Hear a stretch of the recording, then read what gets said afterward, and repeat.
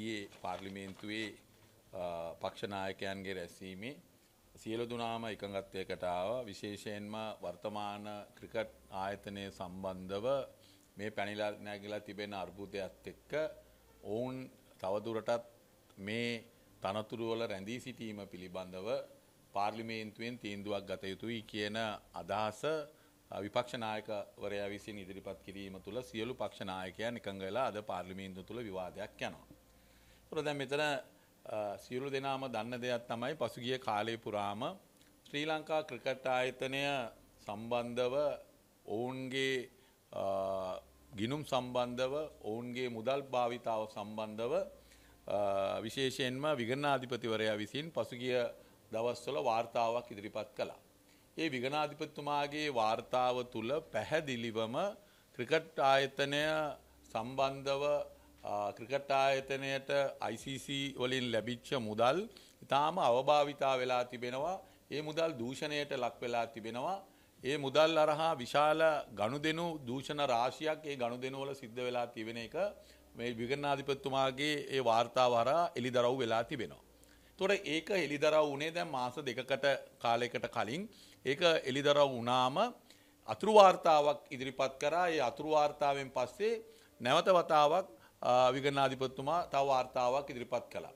තොර දැන් අපිට තියෙන ප්‍රශ්න තමයි මෙවැනි දූෂණ චෝදනාවට ලක්වෙච්ච ක්‍රිකට් ආයතනයක් තුළ ක්‍රියාදාමය ඒව තවදුරටත් ඉස්රහට ගෙන යනවද නැද්ද කියන එක ක්‍රීඩා ඇමතිවරයට තිබෙන විශාල ගැටලුවක්. මොකද අපි දන්නවා විශේෂයෙන්ම ලංකාව මේ දවස්වල යන ලෝක කුසලාන ක්‍රීඩා තරඟවලදී අපේ Sri Lanka Sri Lankan cricket team එකේ ඒගොල්ලන්ගේ ක්‍රීඩා විලාශය ගැන බැලුවම විශාල වශයෙන් අපේ රටේ ඉන්න ක්‍රිකට් ප්‍රේක්ෂකයන් ක්‍රිකට් ලෝලීන් එවගේම ක්‍රිකට් වලට ආදරය කරන අයට විශාල ගැටලුවක් පෞගිය දවස්වල අපේ ශ්‍රී ලංකන් ටීම් එක පරාජය හමුවේ අපි සියලු දෙනාටම ගැටලු රාශියක් ප්‍රශ්න රාශියක් පැන නැගුණා. ඒ ප්‍රශ්න වැන නැගුණෙම විශේෂයෙන්ම මේ පෞගිය අවුරුදු කීපය තුලම අපේ ක්‍රිකට් ක්‍රීඩාවේ තිබෙන ගුණාත්මක භාවය ඒ වගේම ක්‍රිකට් ක්‍රීඩාවේ තිබෙන ඉහළ ස්ථාවර භාවය පහළ වැටීමක් සිද්ධ වෙලා තිබෙන එක අපි බැලුව වැල්බැලුව අපි සියලු දෙනාටම පේනවා.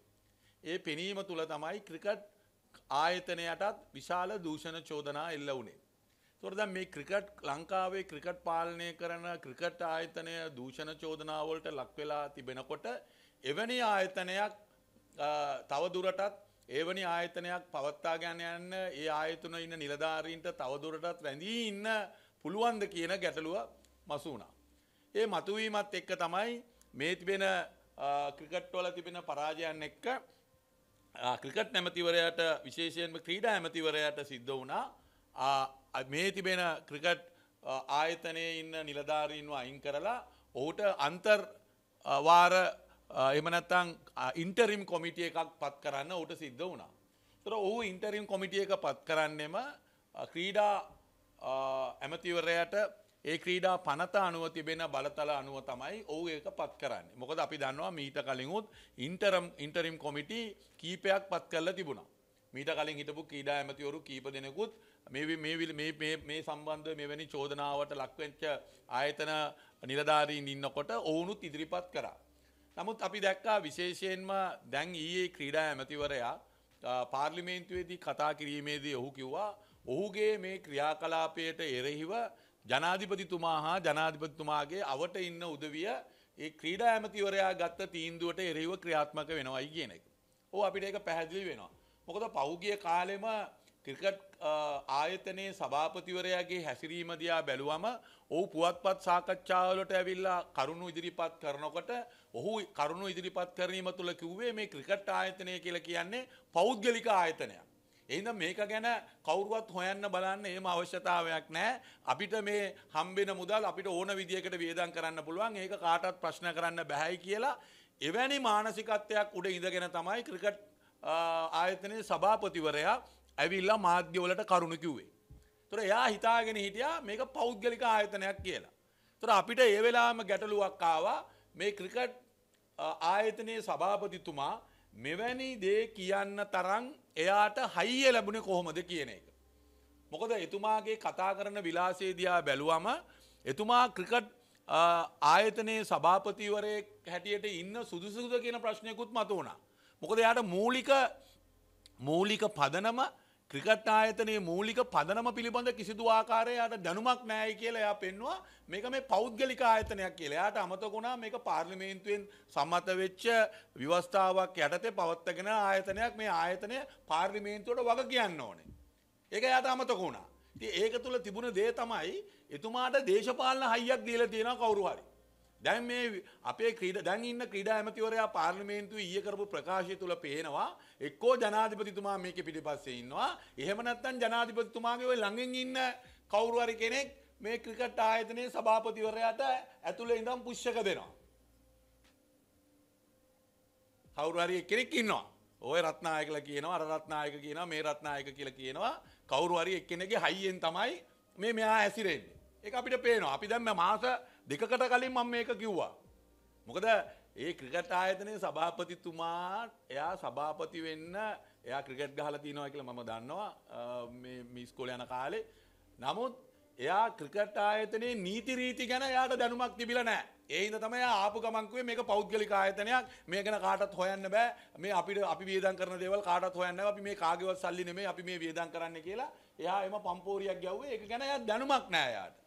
එයා දන්නේ නෑ ලංකාවට සල්ලි දෙන්නේ ICC එකේ අපේ ලංකාවේ ශ්‍රී ලංකාව ටීම් එක ක්‍රිකට් ගහලා ගහන හින්දා තමයි අපිට සල්ලි ලැබෙන්නේ. එතකොට මේ ICC එක සල්ලි දෙන්නේ මේ ක්‍රිකට් සභාපති මේ සභාපතිගේ මූණ බලලා නෙමෙයි. අපේ ක්‍රීඩාව දියුණු කරන්න අපේ ක්‍රීඩකයන් කරන දක්ෂතා අනුව තමයි අපිට මුදල් ලැබෙන්නේ. එතකොට ඒක ලංකාවට ලැබෙන මුදල් ලංකාවේ ක්‍රිකට් වෙනුවෙන් ලැබෙන මුදල්. එහෙම නැතුව එයාගේ මේ පෞද්ගලික ව්‍යාපාරයක්වත් එයාගේ පෞද්ගලික ආයතනයක් නෙමෙයි ක්‍රිකට් ආයතනය කියලා කියන්නේ. ක්‍රිකට් ආයතනය කියලා කියන්නේ පාර්ලිමේන්තුවේ සම්මත වෙච්ච ව්‍යවස්ථාවක් තිබෙන පාර්ලිමේන්තුවට වග කියන්න ඕනේ මේ රටේ ජනතාවට වග කියන්න ඕනේ ඒකේ ගනුදෙනු සම්බන්ධව ඕන කෙනෙක්ට හොයලා බලන්න පුළුවන් ඒකේ විනිවිදභාවයක් තියෙන්න ඕනේ එහෙම ආයතනයක්. ඉතර ඒ දැන් නමුත් අපි දැක්කා ඒ සභාපතිවරයා හිතාගෙන හිටියා මේක යාගේ මේ පෞද්ගලික මුදල් වියදම් කරනවා වගේ එයාගේ පෞද්ගලික ව්‍යාපාරයේ චෙක් වලට අස්සම් කරනවා වගේ එයාට මේ ක්‍රිකට් ආයතනයේ මුදල් වියදම් කරන්න පුළුවන් කියලා. කවුරුත් මේක බලන්න ඕනේ නැහැ මේක ඔඩිට් කරන්න ඕනේ නැහැ කියලා එහෙම මතයක ඉඳන් තමයි එයා කතා කරේ. ඉතින් ඒකෙන්ම පේනවා එයාගේ මානසිකත්වය ගැන. ඉතින් එවැනි පුද්ගලයෝ මේ වගේ තනතුරු වලට පත් වුණාම ඉතින් මේක විනාශ වෙන එක අහන්න දෙයක් නැහැ. මොකද ඒ මානසිකත්වයේ ඉන්න පුද්ගලයෝ ඇවිල්ලා මේ තනතුරු මොකද අපි දන්නවා ඒ කාලේ ක්‍රිකට් සභාපතිවරු හැටියට මේ රටේ නම් දරපු දේශපාලඥයන් හිටියා. ජේ.ආර් ජයවර්ධන මහත්තයා ක්‍රිකට් මේ ආයතනයේ සභාපති වෙලා හිටියා. එන්.එම් පෙරේරා මහත්තයා සභාපති වෙලා හිටියා. ගාම් දිසානායක මැතිතුමා සභාපති වෙලා හිටියා. ඊළඟට විශාල ව්‍යාපාරිකයෝ ඒගොල්ලෝ සභාපති වෙලා ඒගොල්ලන්ගේ පෞද්ගලික මුදල් ගෙනල්ලා ක්‍රිකට් දියුණු කරන්න දැම්මා. ඇත්තටම අපිට ක්‍රිකට් වලට මුදල් එන්න පටන් ගත්තේ 96 ලෝක කුසනාලයට පස්සේ. ඒ ජයග්‍රහණයත් එක්ක. ඊට කලින් ක්‍රිකට් වලට මුදල් වියදම් කරේ මේ ලංකාවේ ඉන්න සෑහෙන ව්‍යාපාරිකයෝ ප්‍රජාවක් තමයි ඇවිල්ලා Taman ඒගොල්ලෝ ක්‍රිකට් සෙල්ලම් කරේ නැති වුණත් ඒගොල්ලෝ ක්‍රිකට් බලන්න ආසෙින්ද ක්‍රිකට් වලට ඒගොල්ලෝ මුදල් වියදම් කරා. ඒ ක්‍රිකට් වලට කැමති හින්දා. එහෙම තමයි මේ රටේ ක්‍රිකට් ගොඩනැගිලා ඉදිරියට ආවේ. නමුත් 97 96 ලෝක කුසලානය දිනීමත් එක්කම අපිට මුදල් එන්න පටන් ගත්තාම ඉතින් මේකට විශාල ලෙස අපේ රටේ ඉන්න ජාවාරම්කාරයෝ පිරිසක් මේ ක්‍රිකට් ආයතනය අල්ලන්න පෞගිය කාලෙම වැඩ කරා. ඒක තමයි මේකේ ඇත්ත තත්ත්වය. මොකද 96ට කලින් කවුරුවත් ඔය ජාවාරම්කාරයෝ ක්‍රිකට් වලට ආවේ නැහැ. 96ට කලින් මේ රටේ හිටපු එක එක තරාතිර අම්මල ඉන්න උදවිය හැම එක්කෙනම ස්වේච්ඡාවෙන් ඇවිල්ලා Tamanගේ මුදල් වේදම් කරගෙන තමයි ක්‍රිකට් ගොඩ නැගුවේ. නමුත් දැන් ක්‍රිකට් ගොඩ නැගිලා ක්‍රිකට් ලංකාවේ ජනප්‍රිය වුණාට පස්සේ මේකට මුදල් එන්න පටන් ගත්තාම අපි දැක්කා මේ යම් ජාවාරම්කාර කණ්ඩායමක් අද මේක ඇතුළට පැනලා තියෙනවා. තොර දැන් අපි බැලුවොත් එහෙම දැන් මේක මේ තියෙන ක්‍රිකට් ව්‍යවස්ථාව වෙනස් කරන්න ඕනේ කියන එක වාදයක් විවාදයක් නැහැ. අනිත් දේ තමයි දැන් හොඟක් අය කියනවා දැන් මේ ඉන්ටරිම් කොමිටිය එක පත් කරාම ලංකාවේ ක්‍රිකට් තහනම් කරනවායි කියලා. දැන් හොඟක් මේ ක්‍රිකට් ආයතනයේට පක්ෂව ඉන්න උදවිය මේ වර්තමාන ආයතනය වෙනුවෙන් කතා කරන උදවිය කියන්නේ නෑ මේක දැන් ඉන්ටරිම් කොමිටියක් පත් කරාම ICC එක අපිව තහනම් කරන්න පුළුවන් කියලා. අපි මතක් කරගන්න ඕනේ දෙදස් එකේදී. ඉන්දියාවේ ක්‍රිකට් ආයතනයේ සභාපති වෙලා හිටිය ජග් මෝහන් කියලා මහත්මයෙක්. විශාල වංචාදූෂණ සිද්ධ වුණා. ඒ වංචාදූෂණ සිද්ධ වුණාම ඉන්දියානු රජය මැදිහත් වෙලා ICC ඇත් එක්ක කතා කරලා එදා හිටපු ඉන්දයානු ඒ ක්‍රිකට් ආයතනය අවෝසි කල්ල දැම්ම. දාලා ඒගොල්ලමුත් ඉන්ටරිම් කොමිටිය එකක් දැම්. එහිද මේ ඉන්ටරිම් දැන් ඉන්ටරිම් කොමිටි කියල කියන මේ අලුත්දේවල් නෙමේ. මේ රටේ මේ තියබෙන රජයට ඇමතිවරයට පවතින ක්‍රිකට් ආයතනය වංචා දූෂණෝලට ලක්වෙලා ඒවා කරගෙන යනවනං ඒවා නවත්තන්නේ නැත්තං ඔවුන්ගේ ක්‍රියාදාමය පිළිබඳ විනවිධ භාවයක් නැත්තං ඇමතිවරයට තියෙනවා බලතල පාවිච්චි කරන්න. ඒක ICC එක එකට විරුද්ධ වෙන්නේ නෑ. ICC එක කියලා කියන්නේ මේ දේශපාලන මැදිහත් වීම එපා කියලා කියන්නේ ICC එක කියලා කියන්නේ දේශපාලඥයෝ ඇවිල්ලා කණ්ඩායම් තෝරන්න එපා කියලා. ඒකයි ICC එක කියලා කියන්නේ. කියන්නේ ICC එක කියලා කියන්නේ මේ දේශපාලඥයෝ මැදිහත් වෙලා මේ ක්‍රිකට් කණ්ඩායම් තෝරන්න යන්න එපා කියලා. එහෙම නැතුව දේශපාලඥයන්ගේ සහයෝගය නැතුව මේ ආයතන ගොඩ නගන්න බෑනේ. පාර්ලිමේන්තුවට මේ පනත් ගේන්න ඕනේ මේ නීති රීති හදන්න ඕනේ ඒ ඔක්කොම කරන්න දේශපාලඥයෝ. ඉතින් ICC එක ඒකට විරුද්ධ නැහැ. එහිද මේගොල්ලෝ මතයක් හදන්න හදනවා මේ දැන් මේ වර්තමාන මේ ක්‍රිකට් ආයතනයේ ඉන්න නිලතලවල ඉන්න අයව අයින් කරාම ICC එක ලංකාවේ ක්‍රිකට් තානම් කරයි කියලා. එහෙම එකක් නැහැ. අපි දන්නවා මේ වෙලාවට මේ වර්ත මේ ඉන්දියාවේ එහෙම දෙයක් වුණා පකිස්තානයේ කීපවතාවක් ඉන්ටරින් කොමිටි දාලා තියෙනවා ඒ දකුණු අප්‍රිකාවේ ඉන්ටරින් කොමිටි දාලා තිබෙනවා ඒ වගේ රටවල් ගණනාවකම මේ වගේ ගැටලු සාගත තත්ත්වයන් පත් වුණාම එවුන් ඒ හිටපු රජයන් ඒ කමිටු තාවකාලිකව තානම් කරලා ඉන්ටරින් කොමිටි දාලා ඉස්රහට ගිහිල්ලා තිබෙනවා. ඒ හින්දා දැන් දැන් තියෙන ප්‍රශ්නේ තමයි දැන් මේ ආණ්ඩුවේ ඉන්න ජනාධිපතිතුමා දූෂිතයන් දූෂිතයන් ආරක්ෂා කරන්න හදනවා. ද එතුමා කියන කියනවා ඉඳගෙන දැයි අපි දැක්ක අලුත් නීති සංශෝධන වගේ දැන් එතුමාට බාර දීලා තිබුණා එතුමා පත් කරපු කමිටුව මදි. දැන් ඒ ඒ ඒවා අපිට කරන්න පුළුවන්. අලුත් නීති ගේන්න ඕනේ විනිවිධ භාවයකින්දී නීති ගේන්න ඕනේ අපිත් ඒ පැත්තේ තමයි ඉන්නේ. මොකද ලංකාවේ ලංකාවේ ක්‍රිකට් ක්‍රීඩාවේ සභාපති තෝරන්න ඡන්ද පාවිච්චි කරනවා ඇවිල්ලා ඡන්ද පාවිච්චි කරනවා 142ක්. ඒ කියන්නේ ක්‍රිකට් සමාජ විසි තුනක් විතර වගේ තිබෙනවා ඒ ක්‍රිකට් සමාජ විසි තුනකින් චන්ද එකසිය හතලිස් දෙකක් තියෙනවා ක්‍රිකට් සභාපති තෝරන්. ඉන්දියාව කියත් තියෙන. ඉන්දියාව තියෙන චන්ද තියයි. එච්චර විශාල ලොකු රටක ඒ සභාපති තෝරන්නේ චන්ද තියකින්. නමුත් ලංකාවේ ක්‍රිකට් සභාපති තෝරන්නේ චන්ද එකසිය හතලිස් දෙකකින්. සමහර කලබ් තියෙනවා ක්‍රීඩා සමාජ තිබෙනවා ඒ ක්‍රීඩා සමාජවල තියෙන ඇඩ්‍රස් විතරයි. එහෙම ක්‍රීඩ සමාජයක් නෑ. නම සමාපතිතුමා ඡන්දය ගන්න ඒගොල්ල නඩත්තු කරනවා. ඒ වගේ ක්‍රීඩා සමාජ තියෙනවා හතක් අටක් විතර තිබෙනවා. ක්‍රිකට් ආයතනයේ ලියාපදිංචි වෙච්ච ක්‍රීඩා සමාජ ඒවා තිබෙන්නේ ලිපිනයන් පමණයි. ඒ ඒ සමාජ කොයිද තියෙන්නේ කියලා කවුරුවත් දන්නේ නැහැ. එහෙම සමාජ තිබෙනවා. සමුන්නාන්තරට මම නම කිව්වොත් එම පුදුම වෙයි. දැන් කොල්ලුපිටි ක්‍රීඩා සමාජය කියලා සමාජයක් තියෙනවා. කොයිද තියෙන්නේ කොල්ලුපිටි ක්‍රීඩා සමාජය? අපි දන්න විදිහට කොල්ලු පිටියේ තියෙන අරලියගහ මන්දිරය තමයි තියෙන්නේ. කොයි තියෙන කොල්ලු පිටි ක්‍රීඩා සමාජය? ඒගොල්ලොම ඡන්ද පාවිච්චි කරනවා. ඒ වගේ ක්‍රීඩා සමාජ හත අටක් තියෙනවා. මේ මේ මේවා සභාපති වෙන්න ඡන්ද ගන්න ඒගොල්ලෝ මේවා පවත්වාගෙන යනවා. ඉතින් මේ මේවා තමයි මේවා හරහා තමයි වංචා දූෂණයන් සිද්ධ වෙන්නේ. ඒ හින්දා තමයි අපිත් පිළිගන්නවා ක්‍රිකට් පනත වෙනස් වෙන්න ඕනේ විනිවිද භාවයක් තිබෙන්න ඕනේ. ඒ සියලු දින කාරණා ඇත්ත. නමුත් ඒ හැම එකටම කලින් මේ වර්තමාන දූෂණ චෝදනාවලට ලක්වෙලා ඉන්න අය ඒවගේම ක්‍රිකට් ක්‍රීඩාව මේ පහලට මේ තරම් පහලට ගෙන යන්න ඒකේ පරිපාලනය නියුතු වෙලා ඉන්න උදවිය ඒ කට්ටියව ඉවත් කරන්න ඕනේ මේ තිබෙන දූෂණ චෝදනා හින්ද. තවදොරටත් ඔවුන්ට සදාචාරාත්මක අයිතියක් නෑ ඒ තනතුරේ රැඳිලා ඉන්න මොකද ඒ තරම් දූෂණ චෝදනාවල්වලට ඔවුන් සම්බන්ධ වෙලා ඉන්නවයි කියලා වෙන කවුරුවත් නෙමෙයි කියන්නේ විගනාධිපතිතුමා කියන්නේ. වෙන කවුරුවත් නෙමෙයි.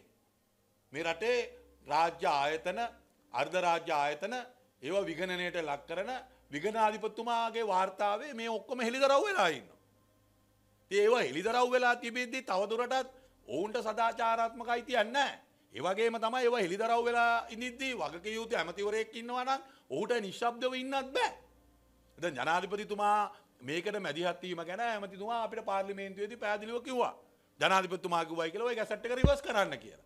ඉතින් අපි ඒක තමයි කියන්නේ රනිල් වික්‍රමසිංහ ජනාධිපතිවරයා හැමදාම කරන්නේ ඕක තමයි. එයා හැමදාම යන්නේ ওই රාජපක්ෂලගේ තියරියකනේ. හොරකම් කරන්න ඉඩ ඇරෙනවා ඊළඟට හොරු අල්ලන්නේ නෑ ඒ වංචා දූෂණ හැරෙන්නේ නෑ ඊළඟට ඉන්න නිලධාරීන් මාරු කරනවා. දැන් සෞඛ්‍ය ඇමතිවරයාටත් කරේ ඕකනේ. දැන් සෞඛ්‍ය ඇමතිවරයාට ආපු බරපතල චෝදනාවල් ආවනේ. මොකද්ද මේ ආණ්ඩුවෙන් කරපු එක පරීක්ෂණයක් අපිට කියන්නේ? එක හොරෙක් එක එක ගෙ- බාල බෙහෙත් ගෙනල්ලා මෙරටේ මිනිස්සු මැරුණා.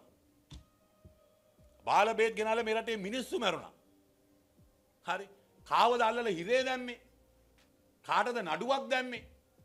නෑ. CID එකට ගිහලා පැමිණිලි දාලා තියෙනවා වංචා දූෂණයකට පැමිණිලි දාලා තියෙනවා මොකුත් වැඩ කරන්නේ නෑ. ඇයි වැඩ කරන්නේ නැත්තේ? රනිල් වික්‍රමසිංහ මැතිතුමා ජනාධිපති වෙලා ඉන්නකම් මේ එකක්වත් වැඩ කරන්නේ නෑ. මොකද අපි දන්නවානේ රනිල් වික්‍රමසිංහ මහත්තයා ක්‍රියාකලාපය ගැන. එයා හැමදාම ඉන්නේ හොරු ආරක්ෂා කරන්න මිසක් හොරු අල්ලන්න නම් නෙමෙයි. එයා අල්ලපු හොරෙකුත් නෑ, එයා හොරු අල්ලන්නෙත් නෑ. ඒක තමයි එයාගේ තියරි එක. එයා ඒ වෙලාවට මොකක් හරි විරෝධයක් එනකොට ටක් ගාලා ඒක බැලන්ස් කරගන්න මොකක් හරි තීන්දුවක් අරගෙන ඒ ඉන්න පුද්ගලයා වෙනස් කරනවා. දැන් අපිට පේනවා දැන් මේ ක්‍රිකට් ආයතනය ලංකාවම කියනවා මේක දූෂිතයි කියලා. මුළු රටේම ජනතාව කියනවා මේක දූෂිතයි කියලා. පාර්ලිමේන්තුවේත් බෞතරයක් කියනවා මේක දූෂිතයි කියලා. නමුත් ජනාධිපතිතුමාට ඕන වෙලා තියෙනවා ගැසට් එක රිවර්ස් කරගන්න. එයා කියනවා ඇමතිතුමා කියනවා ජනාධිපතිතුමා කිව්වයි කියලා මේ ගාපු ගැසට් එක ඉන්ටරිම් කොමිටි එක අයින් කරන්න කියලා. කාගේ බලපෑමටද? ඒකයි අපි අහන්නේ. එහෙමනම් සිකාර් ක්‍රිකට් සභාපතිතුමාව ආරක්ෂා කරනවා ඔය ජනාධිපතිතුමාගේ ළඟ ඉන්න කෙනෙක්. අපි දන්නේ නැහැ ඡන්දවලට ජනාධිපති මැතිවරණ වලට යන්න මුදල් ගන්නද කියලා. මැතිවරණ වලට වියදම් කරන්නද කියලා. දැන් ඒ- එහෙම ගනුදෙනු දැන් මේ දවස් ටික වෙන්නේ.